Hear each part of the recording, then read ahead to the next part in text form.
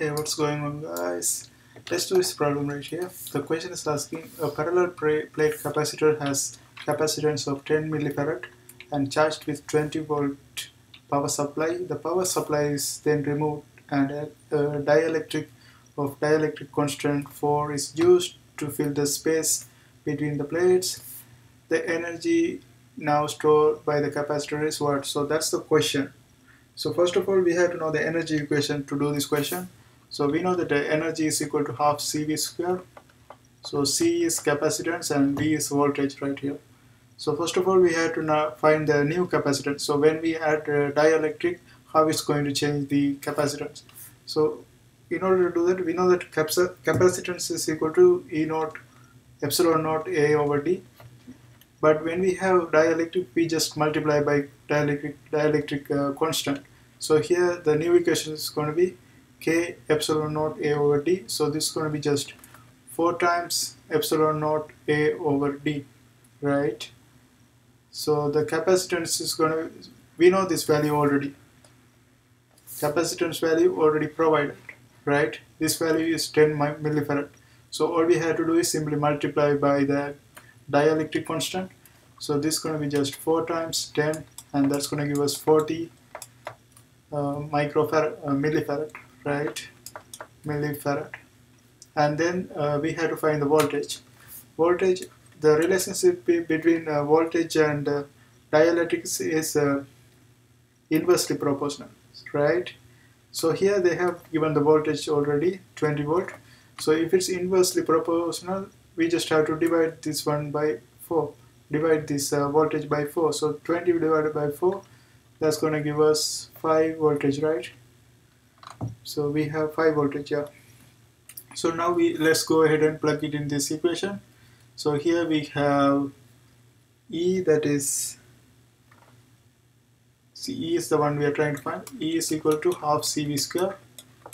CV square we know that C is equal to 40 microfarad. So half time 40 micro I mean millifarad times V square. This is 5 V square so 5 square is going to be 25 20 times 25 times 40 is going to be a thousand right? 1000 divided by 2 that's going to be 500 so 500 millijoule is going to be the answer.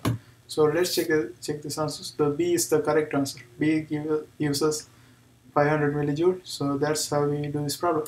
Let's look at the second question. The charge on the square plates of parallel plate capacitor is q the potential across the plate is maintained with constant voltage by a battery as they are pulled apart to twice their original separation, which is the smallest compared to dimension of the plates. Uh, the amount of charge on the plates is now equal to what? So that's the question. So capacitor is related to capacitor, right? So we know the capacitor equation already, that is epsilon naught A over T. So let's rewrite this equation uh, capacitor equation is equal to C is equal to epsilon naught A over D right? Now we are trying to find in terms of Q. So we know that Q is equal to CV so Q is equal to CV hmm. so let's find the capacitor change due to this one. So if, it, if this is initial C naught and they are saying square plates capacity Q the plate is maintained constant voltage value is okay. Now the this this is twice. So the separation is doubled now. So the new separation is doubled. So c let's say this is c prime. C prime is going to be epsilon naught a divided by 2d right? So this is just uh, 2d and from this one we can conclude that c naught is equal to 2c prime because this is half the value of this one right if you look at this one this whole thing is equal to c naught. So also so we can say as, as c prime is equal to c naught divided by 2 or c naught is equal to 2c prime same thing. And let's look at the charge. So they are asking for the, amount of charge placed now. So after we separate what what's the charge? That's the question. So we are trying to find q prime so let's write the equation for the Q naught. When we don't change anything. Q is equal to CV and from this one C c remains c naught. So this is just going to be c naught v.